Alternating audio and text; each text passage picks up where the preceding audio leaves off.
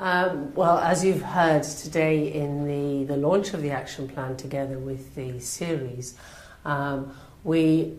have based the action plan on work that is already taking place in countries. So, with the countries, WHO is working together with UNICEF and with many other partners. The teams within countries will then actually have a, um, a high level meeting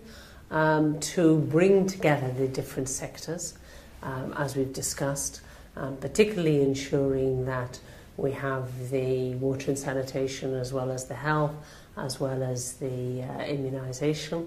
um, and look at the, the key actions that need to be taken um, and a coordinated approach. So, for example, if a country is going to launch their um, rotavirus, we, um, implementation in the country, we will bring that together as a platform to launch the, the GAP-D and look at the actions of each different um, sector